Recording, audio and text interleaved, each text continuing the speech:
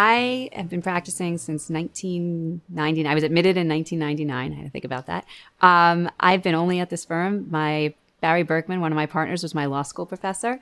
So I've been here the whole time. Um, I've grown up here, and now I've become managing partner.